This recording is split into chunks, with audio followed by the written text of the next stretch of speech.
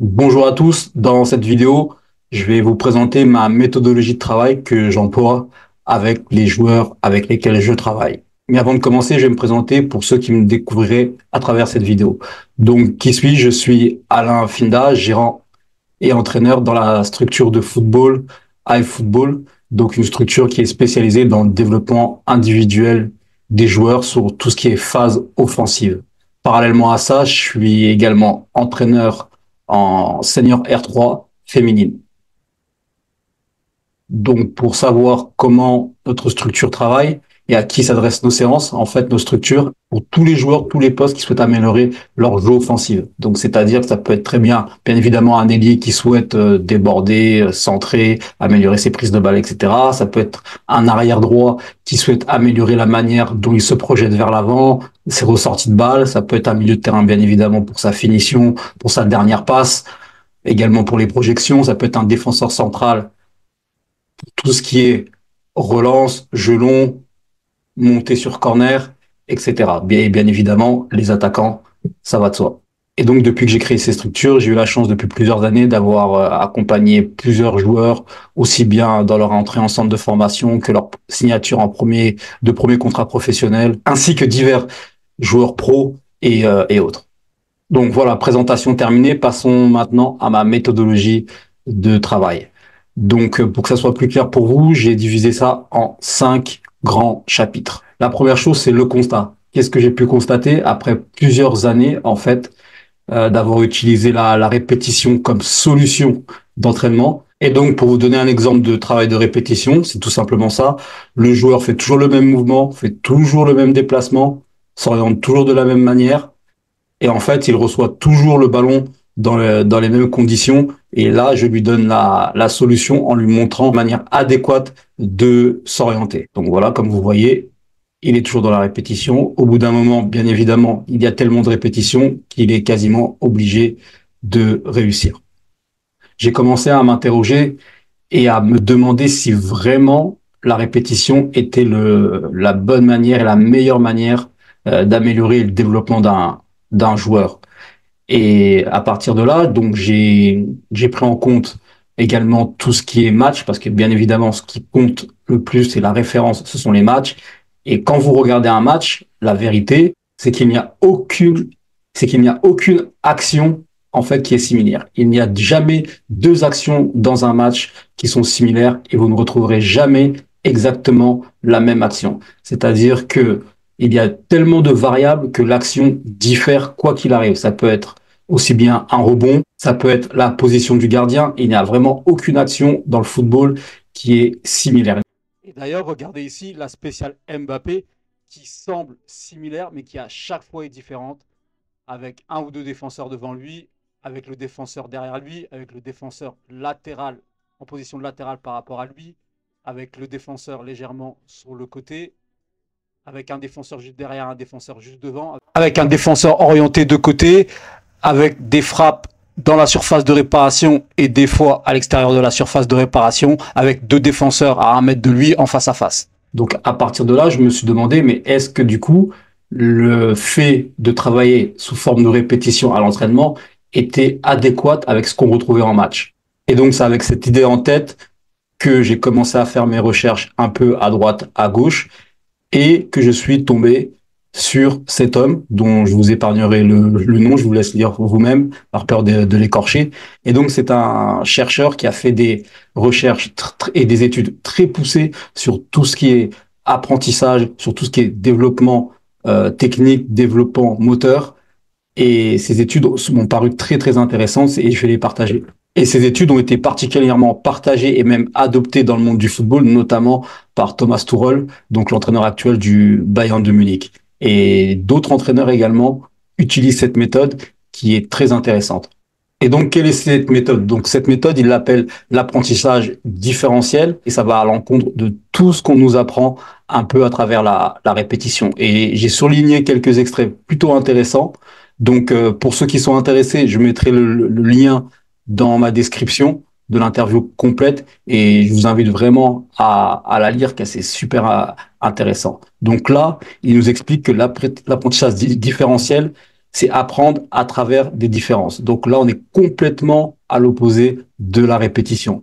C'est-à-dire que tu peux travailler un geste mille heures, le répéter mille fois, des centaines et des centaines de fois. Ça ne veut pas dire que lorsque tu vas arriver en situation de match, parce que tu as répété ce geste, que tu vas obligatoirement le réussir. Et donc là, c'est la même chose en gros de ce que je vous ai dit tout à l'heure, c'est-à-dire que dans chaque action, il y a une différence. Il n'y a aucune action qui est similaire. Et même si ça ne se voit pas forcément à l'œil nu, il y a une différence dans chaque action, même la plus légère. Et donc, pour continuer sur l'apprentissage différentiel, donc là, lors de mes recherches, je suis tombé sur un livre sur Thomas Tuchel. Et donc là, c'est la, la, réinterprétation, en fait, bah, justement, de, de euh, ce chercheur. Donc, il dit, c'est de la répétition, en fait, sans répétition. C'est-à-dire que vous allez répéter bien évidemment une situation, un travail, peu importe. Mais dans, la, dans le travail, il n'y aura jamais le même situ il n'y aura jamais la même répétition.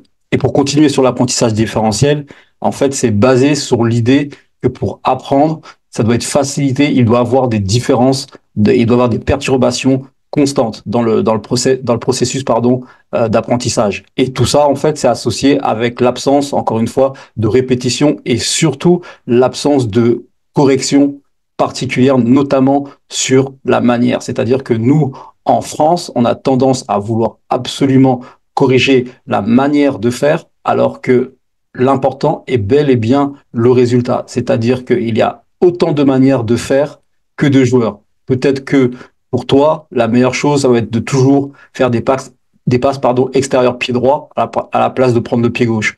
Pour un autre, ça va être de, il sera plus à l'aise en contrôle de la semelle plutôt que dans l'intérieur du pied. L'important étant ici le résultat final. C'est un peu, sans rentrer non plus dans des détails trop profonds, les différences motrices. On a tous des particularités bien précises à nous dans lesquelles on se sent plus à l'aise. Et ces particularités-là, il ne faut pas les changer. L'important étant le résultat final. Et donc on continue et on peut lire ici, il est particulièrement important d'exécuter, de faire les, des mauvaises variantes de, de l'exercice sans les répéter. Et donc, encore une fois, on insiste bien sur le fait que dans ce travail-là, la répétition du même geste n'existe pas. Et donc, à cause des différentes répétitions, il n'y a aucun retour qui est recommandé. C'est-à-dire que là, on ne va pas dire, par exemple, sur une frappe, place ton pied d'appui à côté du ballon. En fait, ce qui va amener la progression, c'est l'auto-organisation, c'est le fait de s'ajuster constamment et l'adaptation aux conditions de jeu. C'est-à-dire que, par exemple, quand vous allez recevoir un ballon en l'air, c'est le fait de comment vous allez vous adapter, la vitesse à laquelle vous adaptez. Et c'est ça qui va vous, et c'est ça qui va faire la différence et c'est ça qui va vous préparer aux conditions de match. Et donc, en sachant ça, on passe au troisième point. Et le troisième point de ma réflexion, en fait, c'est ce que je me suis demandé. Et si, en fait, l'adaptation était tout simplement la clé. Et pour ça, regardez cette vidéo. Et donc, ici, regardez, on a Lewandowski, qui reçoit un ballon. Voilà, son contrôle est complètement loupé. Il va vers l'arrière, mais regardez à quelle vitesse il s'adapte. On va mieux le voir là. Voilà, son contrôle est vers l'arrière, il s'adapte. Il y a un, deux, trois, quatre joueurs devant lui. Là, l'objectif est d'aller le plus vite possible pour terminer et il finit l'action. Et donc, par exemple, sur cette action, je ne pense pas que Lewandowski, lors de ses entraînements spécifiques, par exemple, a déjà travaillé cette situation, c'est-à-dire d'être dans la surface, recevoir un, un, mauvais ballon avec euh, quatre joueurs devant lui et en lui demandant de finir et à répéter cette situation. Non, c'est quelque chose, c'est quelque chose qui est venu instinctivement et qui s'est adapté à la situation. On peut continuer le même principe ici avec Suarez. Voilà, mauvais renvoi du, défenseur. Là, il est dans les 6 mètres, il a juste ses appuis et retourné. Pareil, sur ce type de situation, je ne pense pas que les, euh, pardon, Suarez a travaillé cette situation dans la surface de réparation avec un coach qui lui envoyait le ballon dans les 6 mètres et lui faisait des séries de 10 retournés. Je ne pense pas. Ici, on a Pogba, pareil, face à, hop, quatre joueurs face à lui, dont un joueur euh, proche. Donc là, il est dans l'adaptation, il adapte son dribble et regardez derrière la qualité de centre, pareil pour cette situation, je ne pense pas que Pogba a déjà travaillé cette situation spécifique face à un défenseur, ce genre de dribble et surtout ce, ce, centre. Voilà. Donc tout ça pour dire que des buts, des actions comme ça, il y en a des milliers. Et par exemple, cette action de Pogba, ça rejoint ce que je vous disais tout à l'heure. C'est-à-dire qu'elle est unique. On n'a jamais vu Pogba, par exemple, refaire exactement la même action avec le même centre, avec la même pression défensive. Elle est unique. Et donc moi, après avoir lu, creusé et euh, réfléchi sur tout ce que je vous ai monté précédemment, je suis venu, j'en suis parvenu à, mettre, à toujours mettre deux points primordiaux dans ma méthodologie de travail et dans toutes mes séances. Donc, le point numéro un, c'est des mises en situation constantes, c'est-à-dire que 90% de nos exercices, c'est une mise en situation avec ce que le joueur va retrouver en condition de match, que ce soit le positionnement sur le terrain, que ce soit la zone où il a plus d'influence, et le deuxième point, c'est de toujours contextualiser le travail et de se mettre comme si nous étions en match. Observons donc euh, ici un, un, exemple. Donc là, voici un exemple avec un joueur donc évoluant au poste euh, d'ailier. Donc ici, et donc là, il y a plusieurs possibilités. Donc là, au départ, pour garder le joueur en, en mouvement, c'était juste un, un, travail pour qu'il ne commence pas statique. Et en fait, à mon signal, il avait deux possibilités. C'est-à-dire que je lui disais comment on peut, il peut avoir en match seul ou ça vient. Si c'était ça vient, il devait effectuer, comme vous allez le voir ici, une remise. Et si il loupait sa remise, donc ça, ça se traduisait comme si il avait loupé sa passe et que son équipe perdait le ballon. Donc il devait réaliser une transition tout de suite défensive et se remettre en place. Voilà, donc là on le voit ici. Et en fait, ce que je vous ai pas dit, l'objectif principal de travail, c'était d'améliorer ses prises de balles. Et donc là, il se replace défensivement. Et là, il va travailler sa prise de balle d'un point de vue défensif. Voilà, ici, on est clairement dans un contexte de match. Ballon perdu, replacement défensif, ballon intercepté, sa prise de balle doit être bonne. Là, même principe, il loupe de nouveau, transition défensive. Voilà, là j'envoie un ballon au hasard, c'est pas le même. Hop, contrôle, et là, il peut enchaîner tout de suite par une transition offensive. Voilà, là, il se projette. Voilà, et tout ça pour finir sur un centre. Voilà, donc là, on est dans une situation typique de match. Ballon intercepté, prise d'appui sur, euh, pourquoi pas, le numéro 10 ou 8, euh, et projection vers l'avant pour finir sur un centre. encore une fois différent. Cette fois-ci, il était seul, il pouvait aller vers l'avant et aller dribbler le latéral.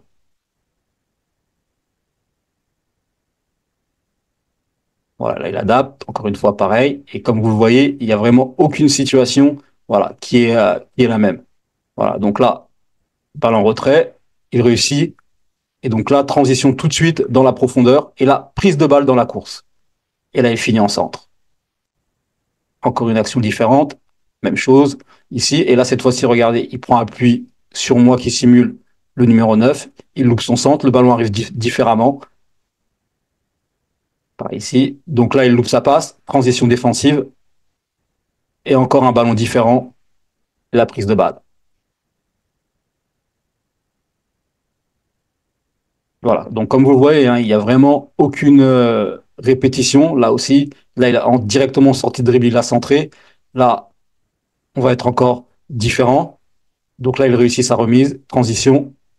Voilà, Là, regardez bien comment il arrivait à s'ajuster. Le ballon était derrière lui. Et c'est exactement ça, le but. Donc là, on est sur le même principe, cette fois-ci avec un, avec un avant-centre. Et là, la situation, en fait, elle était que on simulait un replacement défensif, un ballon perdu. Et là, on simulait une récupération du ballon. Et regardez, là, obligé de s'ajuster. Là, il ne savait pas du tout comment le ballon arrivait. Le ballon à chaque fois était différent. Voilà. Là, par exemple, ballon, mauvais renvoi du défenseur, il doit être présent dans la surface. Là, le numéro 8 fait la passe. Là, il doit s'ajuster très vite et finir vite.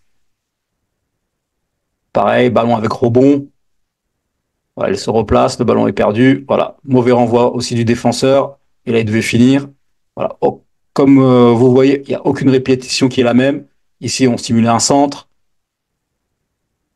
mais toujours avec cette constante du replacement défensif pour se mettre dans le contexte de match. Là aussi, là cette fois-ci j'étais sur sa, sur sa droite, là il enchaîne. Il n'y a aucune répétition qui est, euh, qui est similaire. Voilà, ballon et là il devait finir. Donc voilà, voilà un exemple de, de, mise en situation et de contextualisation que je fais avec mes joueurs selon le, le poste. Et comme vous l'avez vu, on est très très loin de, répéter constamment le même geste. Et en fait, ici, ce qu'on recherche, c'est une adaptation constante aux conditions de jeu qui varient et qui ne sont, encore une fois, je le répète, qui ne sont jamais les mêmes. Et le cinquième point de ma méthodologie de travail, c'est l'analyse vidéo pour observer toutes les tendances et toutes les zones de production du joueur sur le terrain. Je suis quelqu'un qui croit énormément à l'analyse vidéo et au fait de se voir jouer pour mieux comprendre les choses et pour travailler de manière très précise et très concrète. Et voici un exemple de travail d'analyse vidéo avec Nathan, donc qui joue au poste de défenseur central, qu'on a fait et qu'on peut clairement voir la différence d'une semaine à l'autre. Lors d'un match de Nathan, j'avais analysé que son jeu avait manqué de verticalité par moment, aussi bien dans son apport pour créer des décalages balle au pied, à travers une conduite de balle,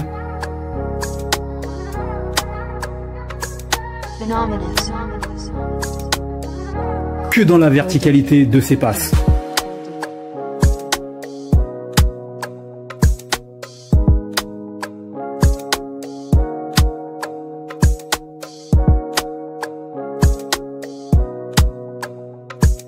Après avoir échangé avec lui, voici le résultat une semaine plus tard.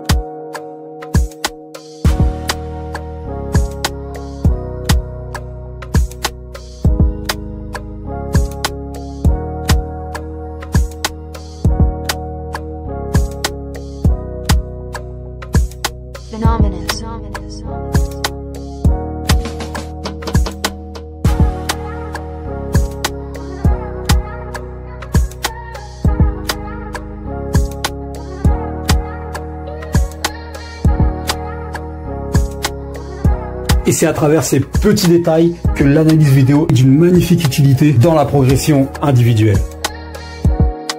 Voilà, donc comme vous l'avez vu, l'analyse vidéo fait partie intégrante de ma méthodologie. Pour conclure, comme n'est pas de créer une opposition entre les méthodes de travail. L'idée, c'était juste de partager la manière dont je travaille. Je ne dis pas que c'est la meilleure. Je ne dis pas que la répétition est une mauvaise chose dans l'apprentissage différentiel. Et, il y a une phrase que j'aime bien utiliser pour décrire un peu ma méthodologie, c'est être prêt pour l'imprévisible. C'est-à-dire dire que être prêt mentalement quelque chose dont on ne sait pas ce qui va Et pour le coup, qui est du domaine de l'inconnu. Je vous remercie Si vous voulez plus de renseignements je vous invite à consulter mon site.